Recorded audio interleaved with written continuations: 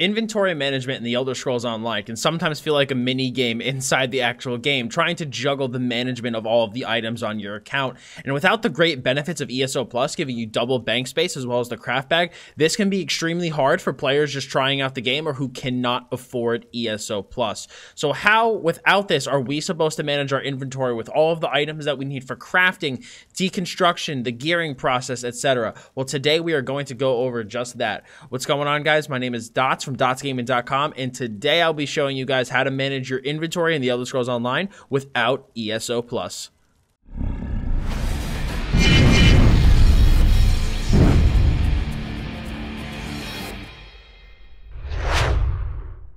Now, while inventory management without ESO Plus can seem like an extremely daunting task, it all basically boils down to saving up the right items on your account. Not only keeping the correct items in your bank, you know, that will allow you to do the most things, but also give you a bang for your buck in terms of saving inventory space, but also only saving gear and other items that you absolutely need. So making sure that you handle this the right way is the key to managing your inventory on your account without ESO Plus.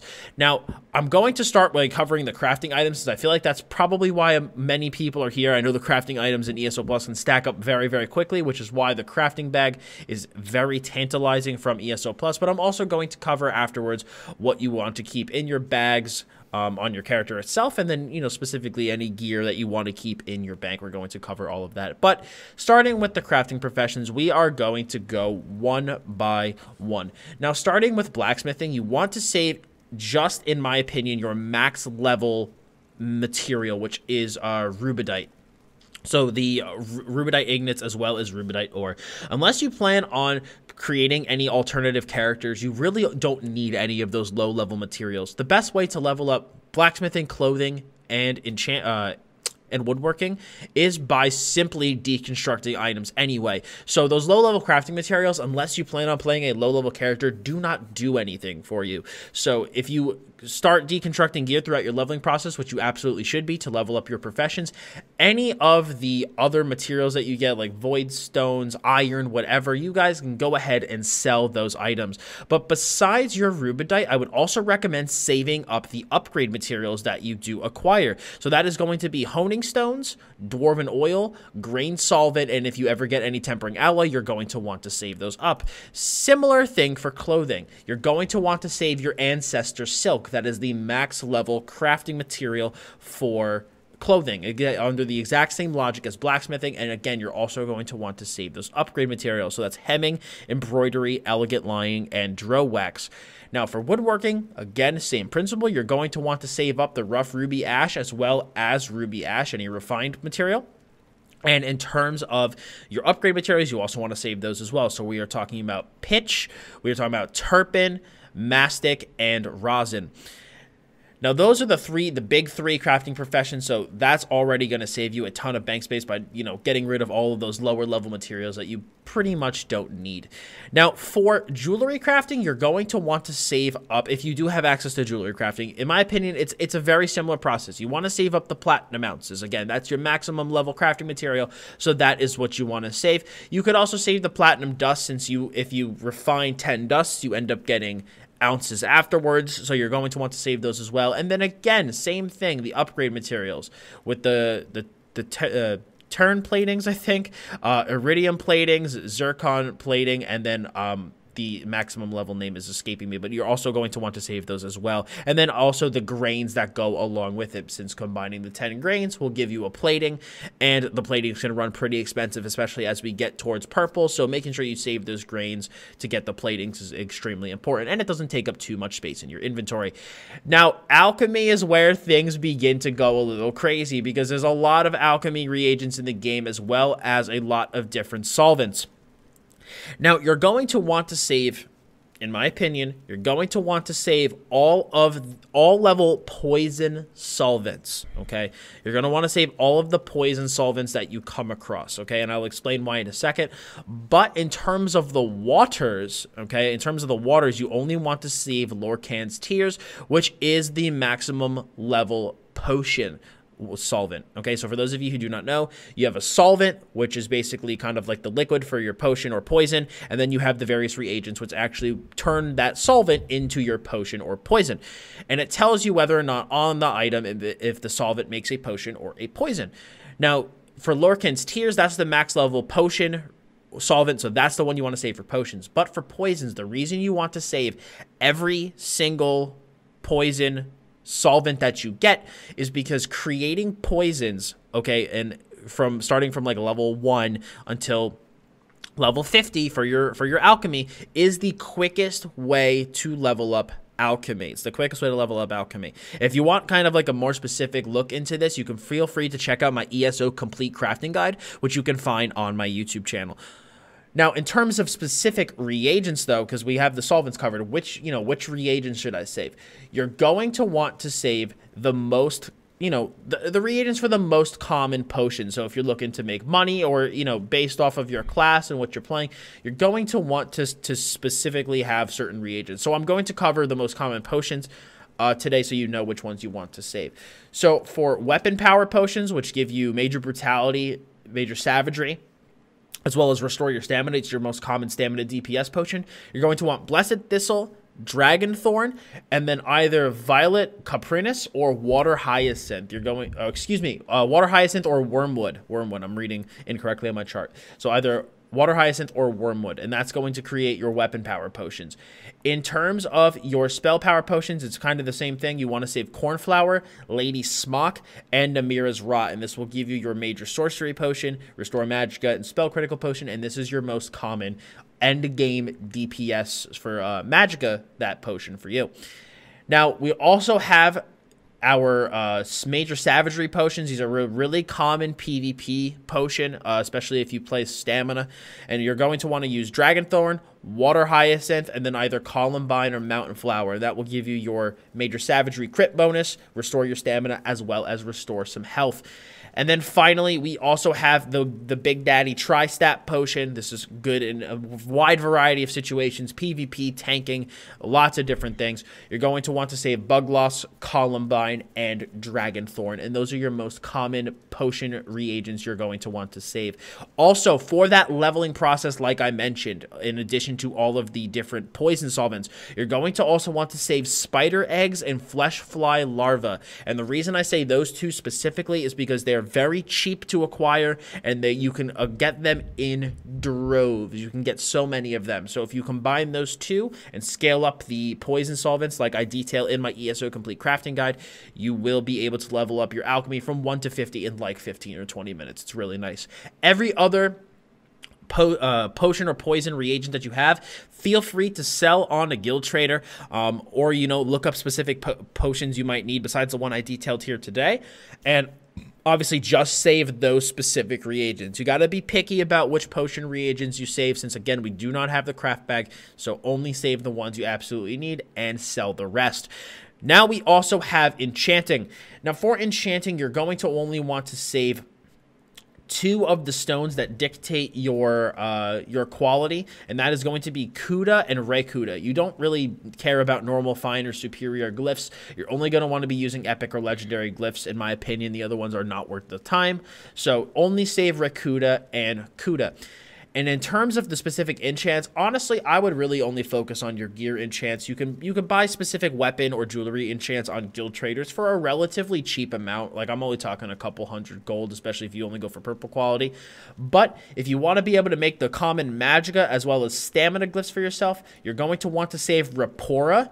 And then for your magical glyphs, you're going to want to use Makko and then for your stamina glyphs, you're going to want to use Deni. So that is how we're going to optimize our enchanting reagent. So we only need total, we need like four or five stones for most of the enchanting we're going to want to do in the game. Now, finally, for provisioning, provisioning is going to be a little different. You know, you're going to need to use specific uh, ingredients as you level up your provisioning. Again, check out my ESO Complete Crafting Guide to learn how to level up your provisioning from 1 to 50. But let's say you're at max level provisioning and you're like, Dottz, I don't know which ingredients specifically to save. I, which one should I do? Again, you're going to want to save the ones for the most commonly used foods, okay? And that is going to be Dubious Camoran Throne, uh, Witch Mother's Potent Brew, as well as Longfin Pasty with melon sauce. Those are your three most basic buff foods slash drinks in the game. And in my opinion, those are the ones you're going to want to save your ingredients for if you do choose to go into professioning. So for dubious, you're going to want white meat, beetle scuttle, insect parts, and guts. For your Witch Mother's Potent Brew, you're going to want Nightshade, uh, Bervez juice, rice, and small game. And then finally, for Longfin pasty with melon sauce, you want fish, melon, greens, and frost Mirriam. Again, you can you don't have to keep these ingredients on your account. This is only if you actually want to create these foods from provisioning. I personally just buy the foods because they're very cheap, but ultimately that is up to you. Now, style materials is where we're going to get a little bit different. In my opinion, you only want to save your base style material on your account. So, you know, let's say you play a Wood Elf, just save your Wood Elf style material and sell everything else. The reason I recommend doing that is because, again, we are strapped for inventory space. We need to save the only the most important things in our inventory and there's no point in my opinion on an account that doesn't have ESO plus in saving these style materials if the outfits since the outfit station is a thing if you want your uh, your armor to look different you can simply go to an outfit station and change the appearance of your armor. There's no need to craft it in a specific way where all of these style materials are now just going to take up space in your account. Don't get me wrong if there's one specific style that you really really love go ahead and save up all of those so you could craft it in that. But in my opinion i don't think it's worth the space. We're again really strapped for space trying to be optimal so only save the one for your race just so that you can specifically craft items.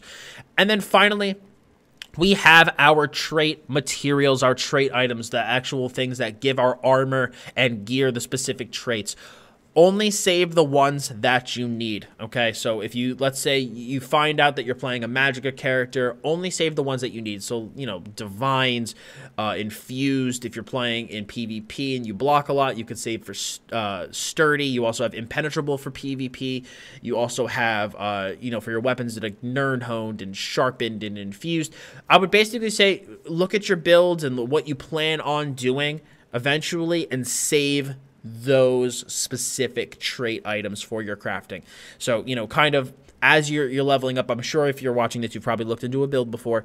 So see what's the most commonly used traits from the builds. Again, you, you're looking at mostly divines, impenetrable for your gear. And then you have for weapons, you have stuff like Nirnhoned, infused, and sharpened.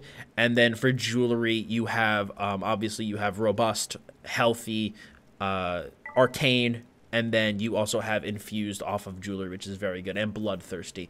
So i would save all of the trait materials for those. Those are the most common ones. Obviously again uh, training is another good one to save for while you're leveling up of course and if you ever want to create gear for you to grind and whatnot. But everything else you could pretty much choose to get rid of if you if you so desire. But again it's going to vary a little bit based off of your role. That was mostly for dps but again see what your class and what your role provide uh, requires and go based off of that now, finally, that covered all of our crafting stuff. We have our actual bank. What are we going to keep inside of our bank?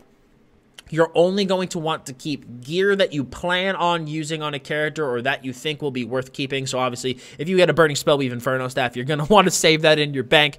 But the gear in your bank end game should primarily be gear that you need and use. You're not going to be able to do what I do and hoard every piece of gear that you've ever acquired ever, you know, because I have so much storage space because I do a lot of theory crafting. But save gear that, you know, you you get and is really rare and that is worth keeping or that you might use in a build or have used in a build before and may use again one day. Um, that's going to again very much vary based off of your um, your character and what you're playing, but only save end game gear that you absolutely need, needed. do be sure to lock it so that you don't accidentally delete it or deconstruct it. Now, during the leveling process, on the other hand, you want to save gear that you need for research. Researching is extremely important so that you can learn those traits for crafting as well as the transmutation process.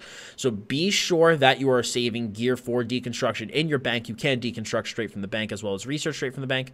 Um, excuse me. Make sure you save gear in your bank for the research process because you can research straight from the bank. So make sure you are saving that stuff for your research process. Now, besides the gear that we have in our bank and all of the crafting materials that we just discussed, what should I be carrying in my bag? Let's say we get to CP160, we're good to go, we have all of our gear. What should I be keeping inside of my bag? Obviously, you're going to want to keep and use any gear in your bag that you use on a regular basis. So for me, I have my PvE gear currently equipped and I have my PvP gear currently in my bag. I also have repair kits to make sure that my gear gets repaired if I do die a lot out in the world. We also have my buff drink. I have any potions that I require, lock picks, any siege when I PvP, soul gems, and any poisons I need to use. So that is generally what I keep in my bags on a normal basis. And that is pretty much, I think, going to cover it, everyone. We have what we uh, have in our bags. We've gone over what crafting materials we need to save, and we quickly touched on saving gear, only saving the necessities as well as gear for research during our leveling process. So hopefully this video helped you guys out. I know that managing your inventory without ESO Plus as a new player is a huge pain point for a lot of people. So I really hope that this guide went over specifically what you should be saving at, to optimize your inventory space in the best way. So if this this video helped you out, I'd appreciate if you left a like on it. If you have any questions, feel free to leave a comment below. And for more great ESO content and guides, please be sure to hit that sub button as well as hit the bell to keep notifications on. So thank you all so much for stopping by today. I very much appreciate it. As always, I'm Dottz Gaming, and I'll see you all in the next video.